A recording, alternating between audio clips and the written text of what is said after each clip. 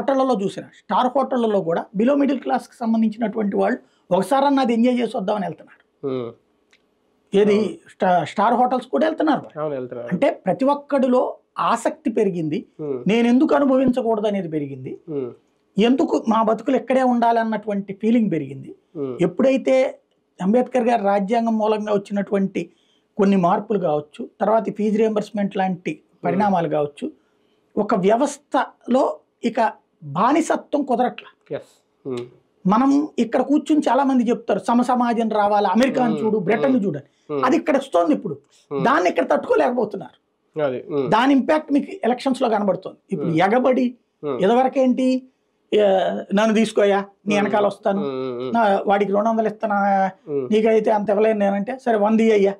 అని వచ్చేవాళ్ళు ఉన్నారు. ఇప్పుడు ఐదు వందల. వదిలే వాళ్ళు నాకు వేరే పని ఉందిలే పో.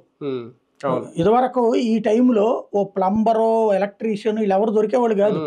ఎందుకంటే రోజు మొత్తం మీద ఆ రోజుల్లో సంపాదించి రెండు వందలు మూడు వందలే. పొద్దున సాయంత్రం దాకా అక్కడ మూడు నాలుగు గంటలు చేస్తే బిర్యానీలు తిని మందు తాగి ఐదు వందల రూపాయలు చేతికి పట్టుకుపోయేవాడు ఉమ్. కాబట్టి ఇటు వచ్చేవాళ్ళు కాదు. ఇప్పుడు వాళ్ళు అసలు రావట్లే ఇటు చేసి ఉమ్. ఈ పనులు చేసేవాళ్ళు ఎవరు కూడా. అంటే ఈ బండి మెకానిక్లు ఇట్లాంటి వాళ్ళు ఎవరు రావట్లా? ఎందుకంటే దీనికంటే ఎక్కువ డబ్బులు వాళ్ళ పనిలో వస్తుంది. అదే ఎలక్షన్ దగ్గర తక్కువ డబ్బులు అనిపిస్తుంది. కాబట్టి మార్పు. మూడు పార్టీలకు రెబల్స్ బెడద తప్పేలా లేదా? ఖచ్చితంగా ఉంటుంది.